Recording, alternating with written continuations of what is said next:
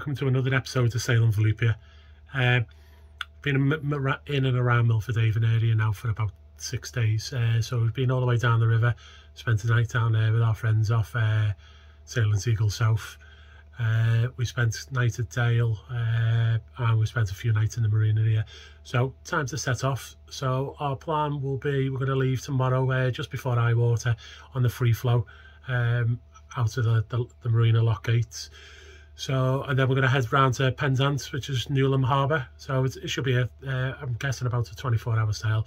Not done all my planning yet, but I'm going to do that uh, in the next couple of hours. And, and then we'll spend the night there, move on, night in Falmouth, and then move on and finish in Plymouth. But we'll uh, start speeding our journey up now. Uh, we want to go to Liverpool. So once we're in Plymouth, we're going to go to Liverpool for a couple of days to see some family before I start my new posting uh, in Plymouth. So enjoy everybody. That's us leaving Milford Haven Marina. Uh, spent a few days here, uh, resting, recuperated, got the washing and all that done. And uh, been waiting for some good winds. So we've got some uh, nice wind coming from the northeast, which is going to get us uh, round to Penzance, quite nice. It's going to be about, a, I reckon, about a 24 hour, 25 hour sail. So it's half one now in the afternoon. So hopefully uh, this time tomorrow we'll be getting into Penzance. Jen's uh, first night on board, doing a night sail without uh, without any crew.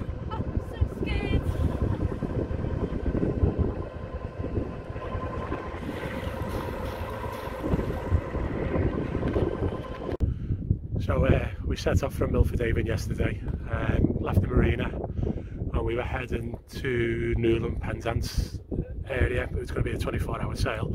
And we got about 18 miles offshore. Uh, we were doing about a 4 6, I reckon.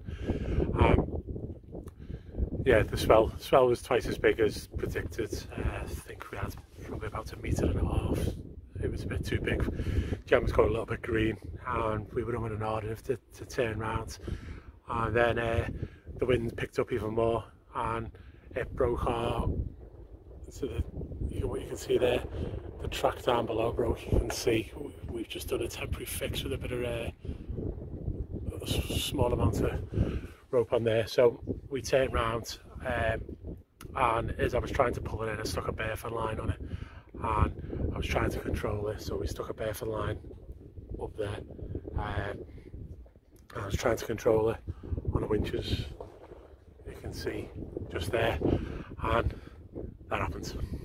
So I got got my finger uh, trapped in it. It was uh, the wing caught and it just pulled it straight straight through my hand and uh, pulled my little finger through the winch. Not too sure if it's broke yet, but uh, we we don't got an X-ray machine on board, so I don't know, can't give you that information. But anyway, it's sore and I've strapped it up, but it'll be better. I've got loads more spare ones. So we came into Dale, so we came back to Milford Haven, got here just before sunset, and we're in Dale. There's just a a small pontoon not connected to anything so we tied tied up there for the day and phoned uh, Milford Haven Marina this morning uh, and booked in a berth there for us so we're going to go up there this afternoon and go in through the locker free flow we've got probably about 50 50 shackles on board and I tried all the shackles and the pins are too small because it was the pin that broke on the uh, the traveller the shackle and shackle the pin so we're going to go in there and use the chandlers try and get something uh, better for us. And then uh, the weather's possibly looking good on Sunday. It's Friday now, so uh, possibly stay there for two days and then leave on Sunday uh, and try again. But yeah, failure. So adding onto that with my uh, possibly broken finger. I was soldering the other day. I've had zoom in, uh, and yeah, that happened. It was a bit of a solder left on the soldering iron and uh, it just dripped off. You can see where the big one where it hit and then the little one where I tried to rub it off ended there and then ended up on, on my leg. But yeah, soldering iron's hot and he hurt.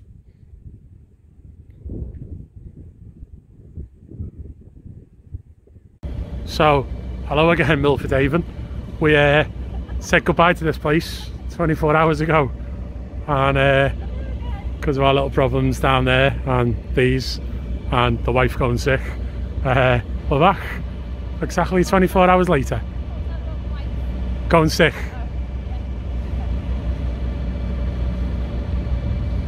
So that's us. We've just had two days in uh, Milford Haven and that, just been out for a meal and uh, had a little drink in, in one of the bars just outside the marina. Um, we put a post on um, YouTube last year saying, does anybody want to come sailing with us? Um, I've emailed some of those people off there and I put a post on uh, Facebook Sailing Buddies. So we've got someone called Paul joining us. He's on the train on the way down to us now. So he'll join us uh, about six o'clock tonight and then I'll show him around the boat and stuff and then we're gonna gonna do my planning but I think we're gonna end up leaving uh, about 4 a.m tomorrow morning on the uh, high tide uh, or as soon as the gates open uh, of the, the lock for the marina. And then that'll give us plenty of time to get over to uh, Cornwall, but should be a good sail, hopefully.